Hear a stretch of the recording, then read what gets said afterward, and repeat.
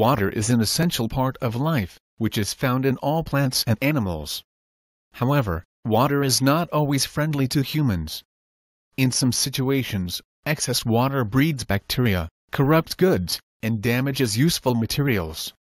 This can result in many problems, such as damp clothes and cigarettes, as well as an extremely humid environment. Therefore, sometimes we have to get rid of the extra water in such materials, through the process of dehydration or drying. Drying is a process that requires a large amount of energy to convert water from its liquid state into gaseous state, before it is finally released from the material. Needless to say, it is not very energy efficient. If you consider the total energy consumed from drying by the sun and air, this amount of energy will be close to half of our total energy consumption. Hence, it is very important for us to explore energy-saving technology for the purpose of drying. The following factors determine the speed of the drying process, surrounding temperature, air speed, relative humidity, surface area and characteristics of the material.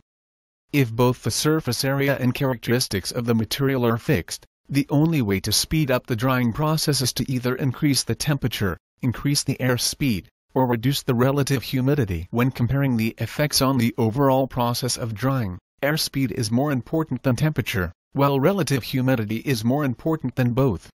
For example, if you leave wet clothes outside on a cold but dry winter day, they can finish drying within several hours.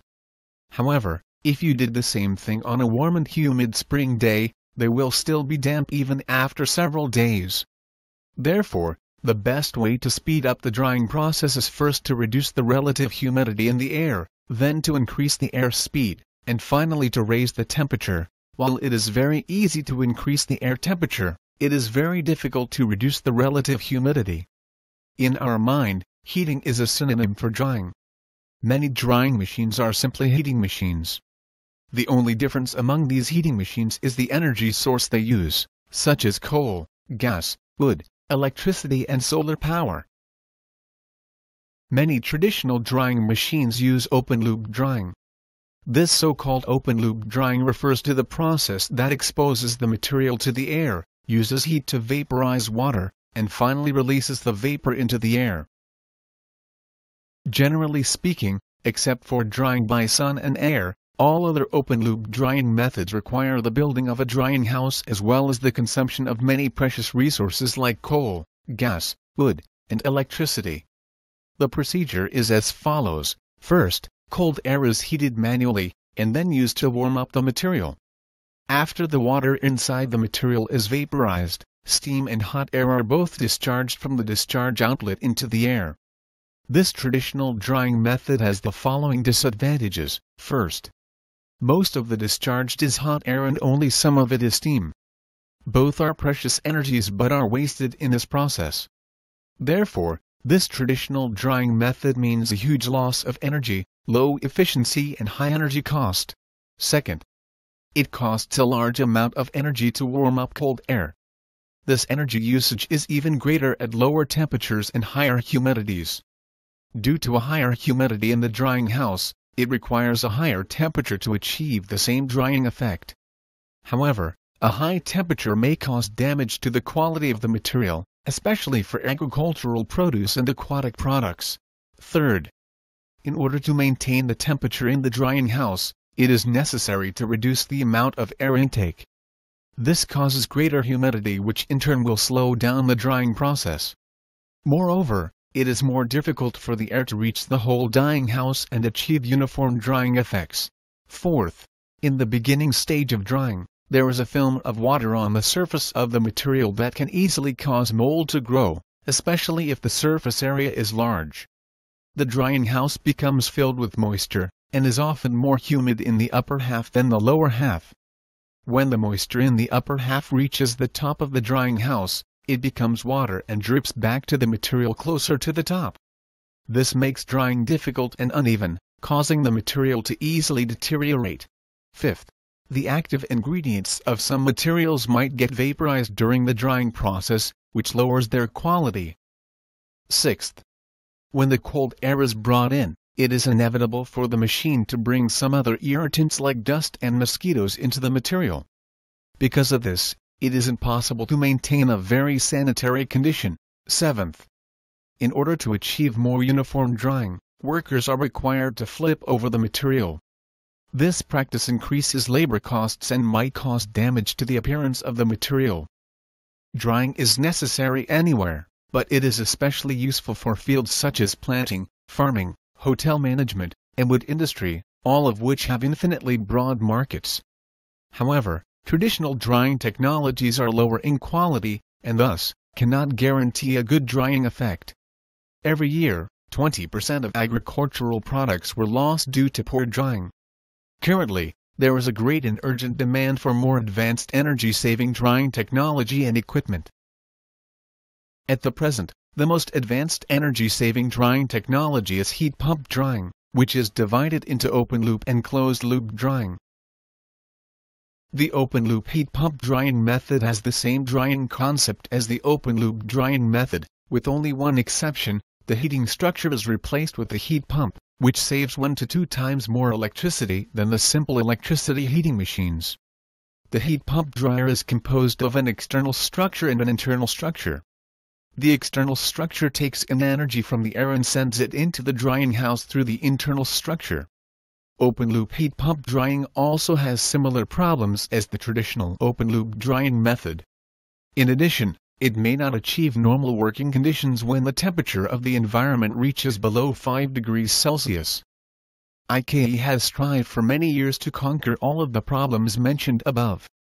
Finally, we have developed more advanced closed-loop aerofaction heat pump drying technology that offer a better drying quality and effect, and more significant power saving.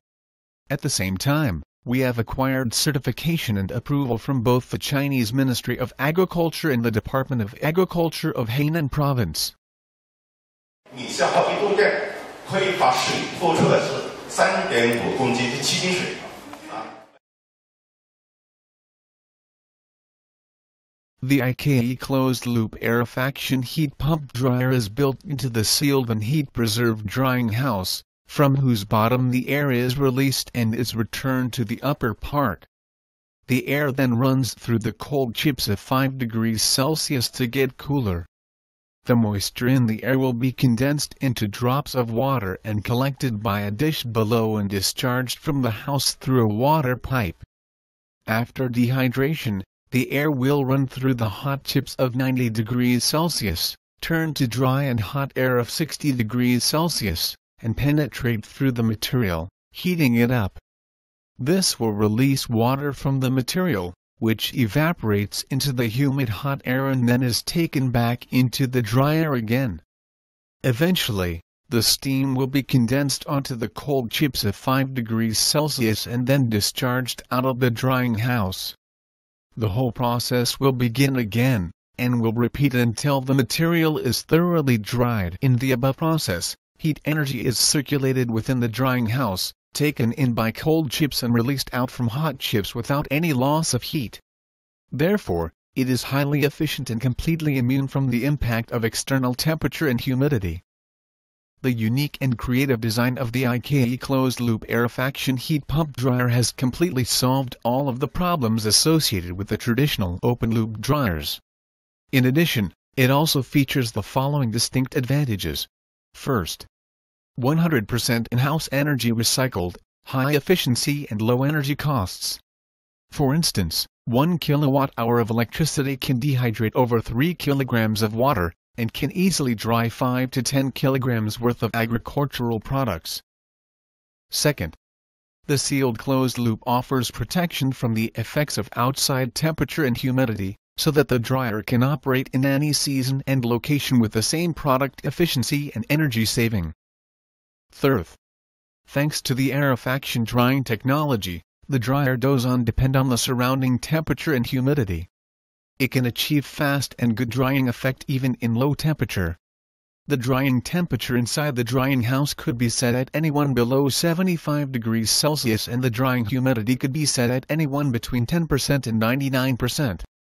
This will help achieve constant temperature and humidity drying and keep drying quality as good as possible.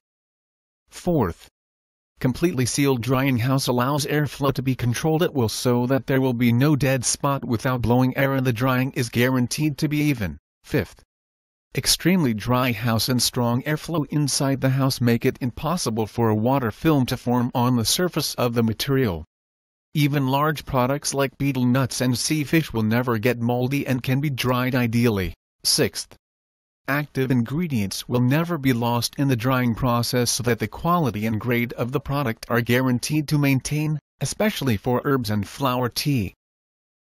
7th.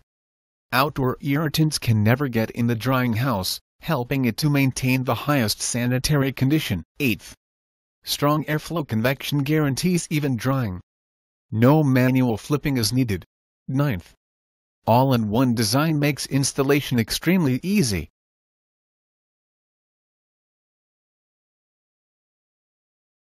10th. Programmable operation system achieves artificial intelligence control and demands no human on duty.